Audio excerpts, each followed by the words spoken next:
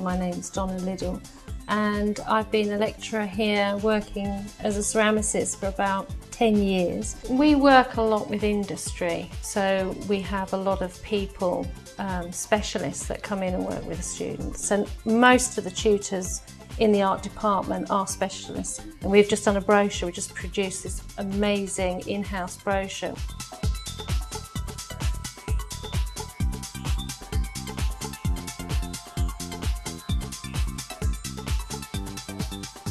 The standard of teaching here I think is absolutely brilliant. The disciplines that we have in this college, uh, a lot of other colleges don't have.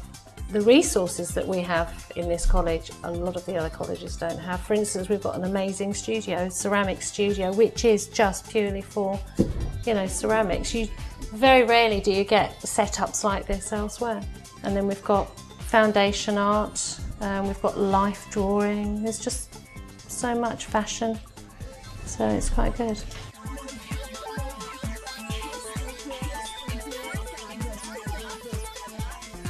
So that's the beauty of this course, I think, is that everybody um, gets a chance to have a feel of all the disciplines and then they can move into the area that they really want to work in.